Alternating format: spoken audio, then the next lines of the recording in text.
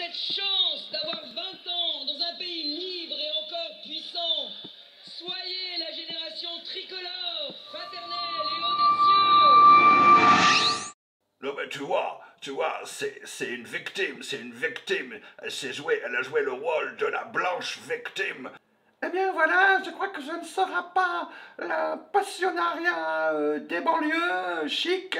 C'est dommage, on avait beaucoup espéré. On voulait vraiment le croire que c'était la candidate du peuple à 4000 euros par mois. Mais non, franchement, euh, les 4000 euros par mois qui ont du mal à joindre les deux bouts euh, vont pas pouvoir voter pour elle. Ils vont sans doute aller euh, vers euh, Zemmour, je crois. Ou bien peut-être euh, euh, euh, euh, la candidate Anne Hidalgo, vous voyez. Euh, vu qu'elle sera jamais maire de Paris, euh, autant prendre l'original plutôt que la copie, voyez, de droite, la copie de droite. Il n'y avait pas d'émotion, et- et elle disait des choses que tous les candidats opposés auraient pu dire. On a entendu du Zemmour, on a entendu du Macron, on a même entendu du Fillon. C'est un peu réchauffé, hein. Ouais, mais c'est la lutte, tu vois.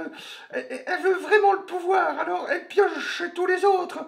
On se demande si c'est un hologramme. On n'a pas vu Valérie. Euh, C'est quand elle parlait, on entendait les autres candidats, on entendait du Zemmour, du Marine Le Pen, euh, du Macron, et même du réchauffé de Sarkozy, euh, de Ciotti, et même des fois euh, Mélenchon, et même une fois euh, Jean Lassalle, hein, on sait de quoi devenir chèvre.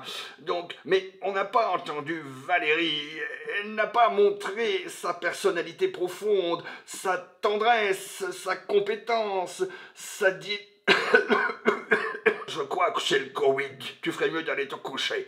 Hein. Et puis, après toutes ces émotions sans émotion, euh, ma chère, euh, ma chère Valérie 2, euh, qu'est-ce qu'on peut dire euh, maintenant? Ce qu'on peut dire du néant, c'est que, à, trop jouer la dure, eh bien, elle se fêle. Il fallait jouer la fragile, la, celle qui doute, celle qui est comme les Français, quoi, un peu dans l'incertitude. Mais la France n'a pas besoin d'une mère fouettarde.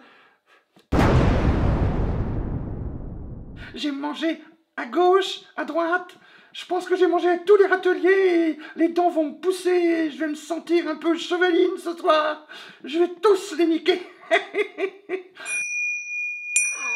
ah, me voici. Je ne suis qu'une reptilienne. Je suis une reptilienne.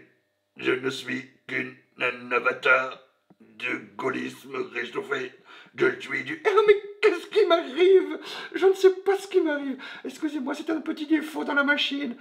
Tu vas bien? Et toi, comment ça va? Et toi, Jean-Marcel? Et toi, Robert-Édouard Ça va? C'est bien? Non mais... eh, Non mais, non mais c'est vrai, hein. si, si le caviar est bon, eh ben tout est bon, hein. c'est ce qu'on dit dans le bâtiment, je crois. hein.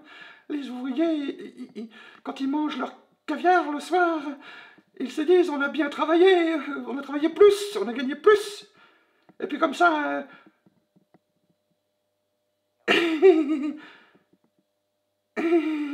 Et si vous travaillez plus, pour gagner plus, eh bien comme ça, eh le petit Mouloud, il pourra pas travailler, il restera au RSA. Et puis après, euh, je mêlerai à Zemmour et on fera un, un camp de divertissement pour que les gens ne regardent pas ce qu'on va leur...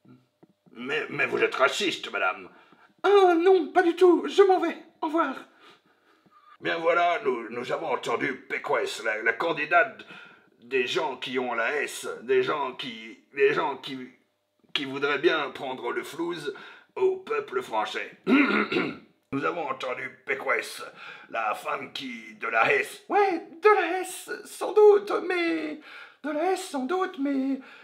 Pas seulement, euh, mais aussi du somme, mais aussi du dawa. On va peut-être pas faire tout le vocabulaire de la langue arabe classique, mais...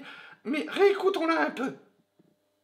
Oui, je suis une candidate fiable. J'ai bien appris mon texte. Je sais ce que je dis. Je sais ce qu'on m'a écrit.